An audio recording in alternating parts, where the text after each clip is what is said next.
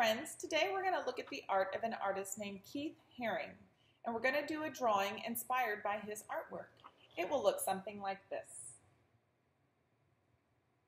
I hope you enjoy it. Keith Haring is a famous street artist from the 1980s. He's known for his graphic images, bold lines, bright colors, and public art. He believed that art should be available to everyone. Keith used chalk to draw on the walls of the New York subway, People would stop to watch him draw and enjoy his work until it was washed away. He also painted huge murals on walls and buildings to lift the spirits of people in the community. People paid him to fill their walls or rooms with his whimsical art. He became famous quickly and began creating merchandise with his artwork on it. Some of his artwork is very famous and recognizable.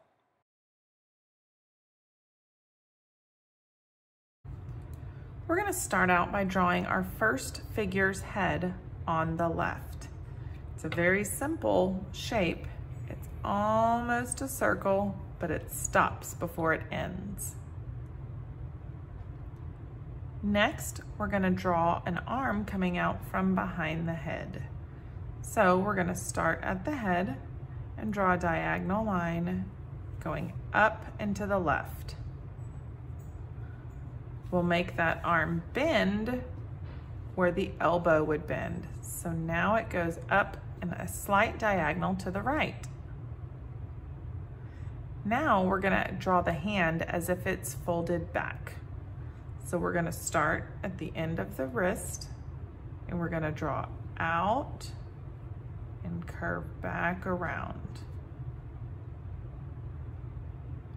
Next, we're gonna follow the same direction that these other lines go to draw the bottom part of the arm. We're gonna draw a diagonal line down, and this one needs to be longer than the first one so that it will have room to bend back and come to the body.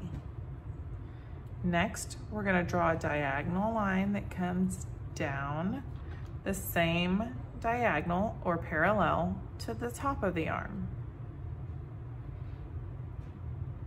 Now we'll draw the next arm. We're gonna draw this one coming out from behind the head as well. This one is gonna be a horizontal line.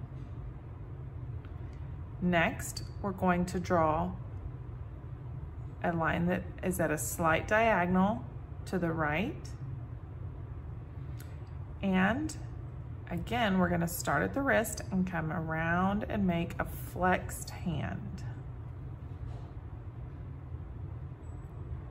Next, we're gonna draw the bottom side of the arm that's parallel to this. Then we'll come back towards the body, parallel to the top of the arm. And now we're gonna draw the body coming towards the bottom of the page. Start where your arm finished and make a curved line that comes down. Do the same thing on this side. Now it looks like he's dancing.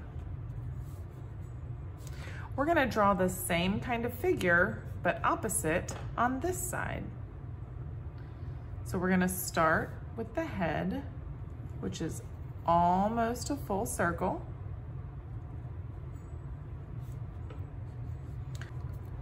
Next, we're going to make the line on the arm over here that comes out from the head at a diagonal up and to the right.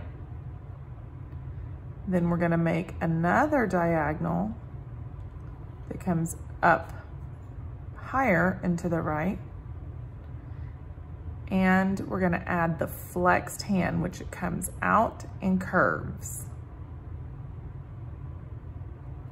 Next, we'll do the bottom of the arm following the same direction that the first lines went. We're gonna go diagonal down and to the left, and then down and to the left some more. Time for the left arm. We're gonna make an arm coming out from the head that comes out almost horizontal. Then it comes up at a diagonal. Then the flexed hand comes out and back in.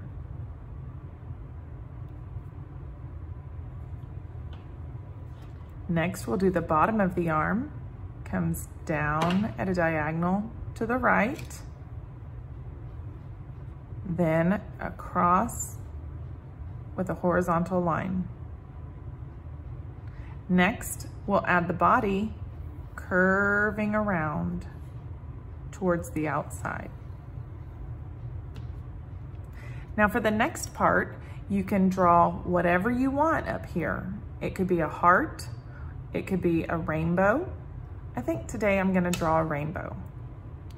I'm gonna draw it going up and over from one hand to the other hand. Then I'm gonna add some more lines in between.